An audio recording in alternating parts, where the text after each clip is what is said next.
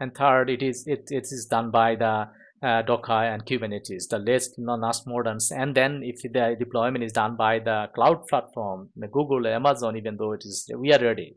So it doesn't matter where you try to install. So you need to be understand the basic structure, the deployment process. So development process and deployment process. That means developments you are, I know you are getting really clear pictures. Development for the for those who are the beginners or freshers, let's understand that deployment is really important part you can pack to your application but you don't know how it's deploying how the what is the possibility to deploy the application so now you get it the pictures you have a deployment process with the standalone jar you have a deployment with uh, docker and docker compose or you have a deployment with uh, docker or kubernetes or you have a kubernetes with uh, with the, our cloud platform providers. So that means that if you if, if if that means we can now discuss the our applications. So it is the very simple applications. We defined our application.yml files. We have defined our port numbers and here that's the the development part. I will discuss a little bit later how you can really professionally structure it uh, those applications like the controllers model so models and and then you have a service interface definitions and the service implementations and the repositories so that means model repository uh, service service implementations and the controller. The really really standard structure and exceptions and exception handling structure. That's the part i will discuss a little bit later with you how it is works how can you really clearly understand and all things together. The developments i will discuss a little bit later. But after the development what happening? How can you deploy? How can you configure your application? That's the main idea for this uh, this screencast. So you see i will discuss every part of the development after the next screencast.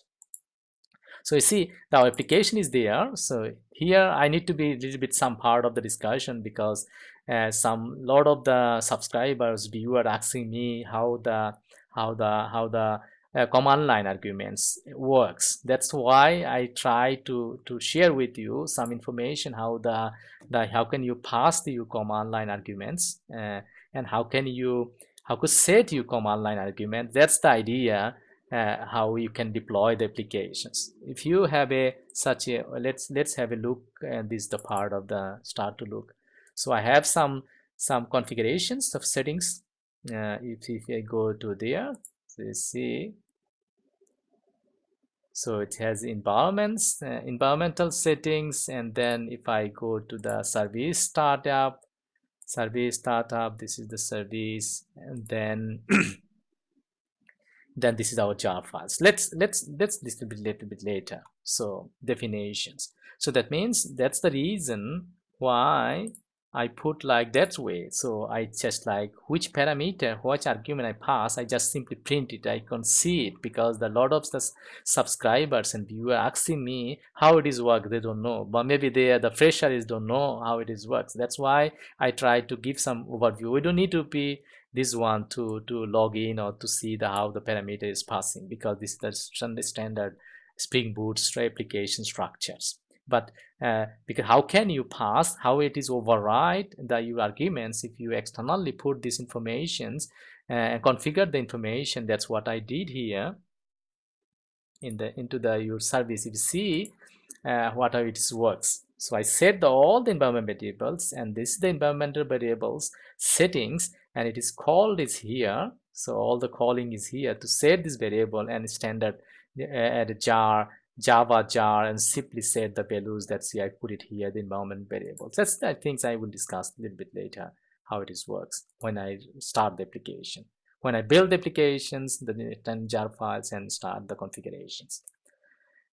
So that means we have the application main class, we have application.yml files. That this is the YAML files we need to be understand because this is the multi multi-environment deployment YAML files. So you need to be deployed just which profiles you are. So maybe you know if if to if someone who don't know how it is Spring profiling works, just look for my channel. There is a many videos about different environments uh, configurations. The previous video it was depending on the application dot properties files. You need to be application dot minus development production test and then so on and so forth.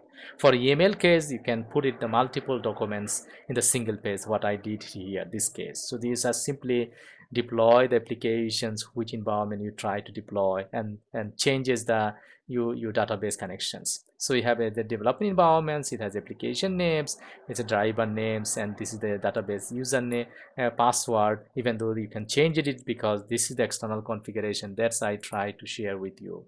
This is, you can see, simply change your username, password, this case, and it's automatically deployed. That's I said. So you develop your application, you put your configuration, you set these two files or any any somehow and give give, give the de uh, deployment teams. Here is the script files. You just simply run this script and deploy the application. How many environments, how many machines they need, just simply they run it into the into the applications in the different environments. That's that's the things. Really standard way how we can deploy the application based on the standalone jar files. So uh, that means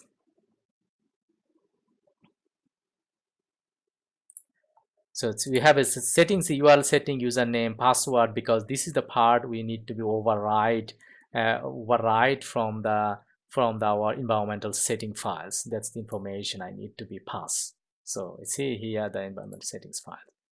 Oops so you can you can see the set information. That the other other things the standard structure like the the project main structure i already started the some uh, the unit testing tools. That started. What i, I already uh, described in here the presentation part this is the part the testing part even though this have a code and then you have a development testing part and after the testing part you can integrate the postman test. That's i already working here the postman test. That's if i see you see the the application is running uh, just you simply uh, I don't know uh, uh, this may be the application. So you see uh, applications is application running and this is the things I already configure. No it is not.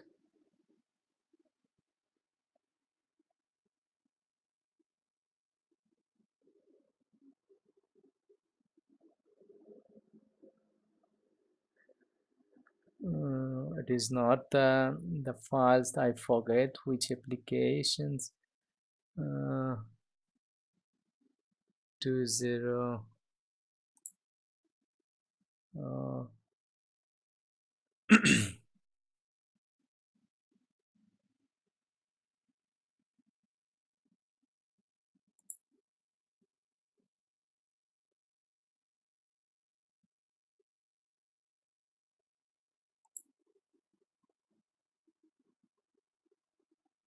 so let's have a checked uh, which one it is. The 998 uh, 998 spring boot uh, uh, this is the configurations as I have it uh, like JWT so let let's check the deployment first. Then after the deployments I will I will I will look for that uh, the the connectivity. The health check profiles. No it is not but that's the case. So let's let's have a check the application itself. How can you deploy the application after the building the your standalone jar files so it's everybody knows how can you jar build the jar files.